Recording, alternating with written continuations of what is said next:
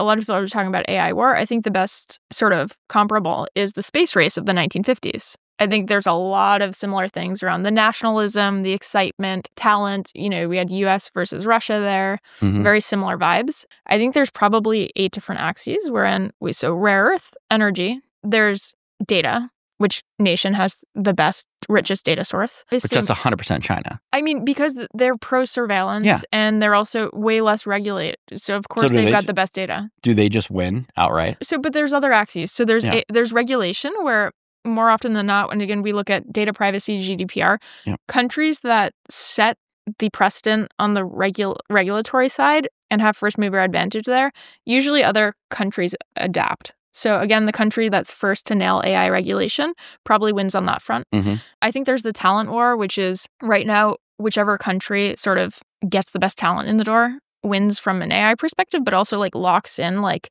innovation for the next few decades to come. So that's like Zuck's move. Yeah, I mean, e- even if they don't win the AI thing, you know, they're going to have such good talent where how do they not win AR VR? I don't know. So I think you've got like this you've got talent, you've got data, you've got regulation, you've got model architecture, rare earth energy. And I think the countries that get ahead are the ones that move the needle on these axes. And I think the US is ahead on certain and behind on others. So China, they've got really good data. How do we compete with that?